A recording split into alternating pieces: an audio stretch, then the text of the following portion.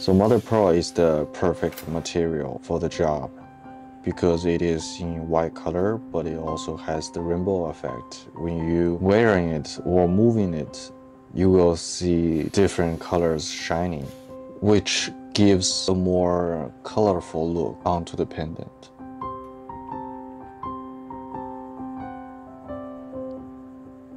Mother pearl is not a very hard stone. It's very fragile, eh, easy to crack.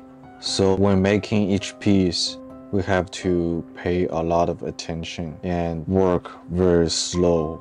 The size and the thickness and the shape must be very accurate to the frame of the pendant. The hard part is the angle and the curves and the scale must all match at the same time.